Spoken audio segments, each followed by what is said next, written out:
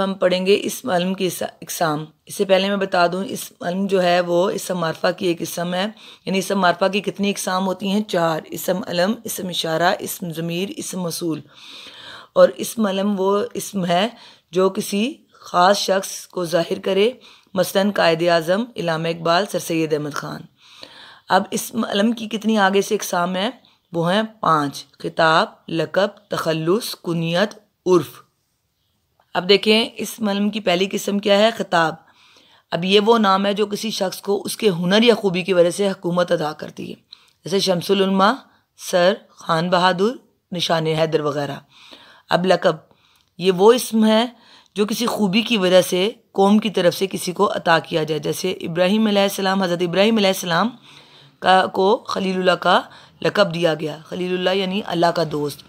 हज़रत खालिद बिन वलीद रज़ी को सैफ़ुल्ला कहलाए। यानी सैफ़ुल्ला जो कहलाए, वो इसका मतलब क्या होता है? अल्लाह की तलवार। हज़रत अली रज़ी को असदुल्ला का लकब दिया गया। असदुल्ला का मतलब है अल्लाह का शेर, यानी बहुत बहादुरी थे। हज़रत खालिद बिन वलीद भी बहुत बहादुर थे, इसलिए उन्हें सैफ़ुल्ला का लकब दिया गया।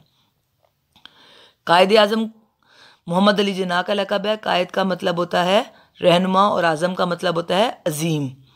कायद मिलत यानी पूरी कौम का रहनुमा लियाकत अली ख़ान का लकब है। शायर मशरक, यानी पूरी मशरक का शायर यानी डायरेक्शन है मशरक, यानी पूरे ईस्ट का जो शायर है, जिसमें पाकिस्तान, हिंदुस्तान और बहुत से ममालिक आते हैं, उसकी वजह से इलामा इकबाल को ये ये लकब दिया गया।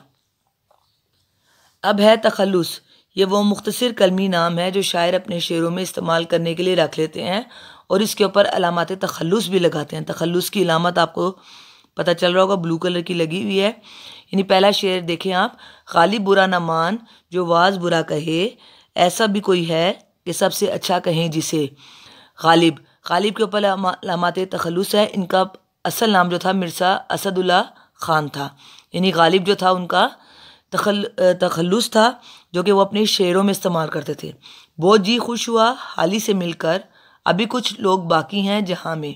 यानी अब हाली जो है ये किसका लकब है? मौलाना, सॉरी तखलुस जो है ये इस्तेमाल किया है। इनका असली नाम क्या है? मौलाना अल्ताफ़ हुसैन। जो हालिया है ये इनका मुख्तर कल, कलमी नाम है, यानी तखलुस है इनका। ढूंढता फिरता हूँ, ए इकबाल, अपने आप को। आप ही गोया मुसाफिर हैं, आप ही मंजिल हूँ मंजिल हूँ मैं। यानी इकबाल के ऊपर तखलुस का निशान है। ये ये इन्होंने अपना शहरों में अपने तखलुस को इस्तेमाल किया है अपने नाम के साथ, ठीक है? दर्ज, दर्द बाला इशार में असदुल्ला ख़ान गालिब अल्ताफ़ हुसैन हाली और इलामा इकबाल ने अपने तखलुस इस्तेमाल किए हैं।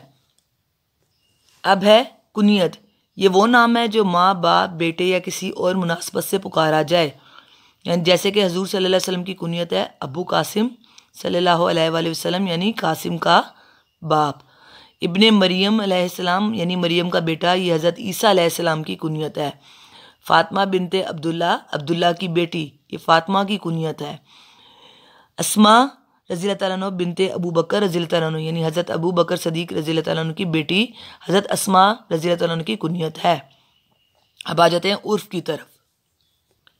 ये उर्फ़ ये वो इसम है जो प्यार, मोहब्बत या हकारत की वजह से लोगों में मशहूर हो जाए। हकारत होता है जिसको किसी को हकीर समझना किसी को छोटा समझना उसकी वजह से मशहूर हो जाए, जैसे कि बिल्लू, नोमी, गुड्डू, कालू वगैरह।